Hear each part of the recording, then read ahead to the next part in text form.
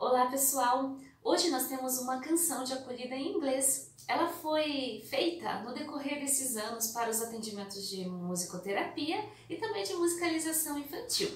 É, eu gostaria de convidá-lo a seguir o canal para que assim nós possamos divulgar este material para outras pessoas também, tá bom? Muito obrigada e vamos lá!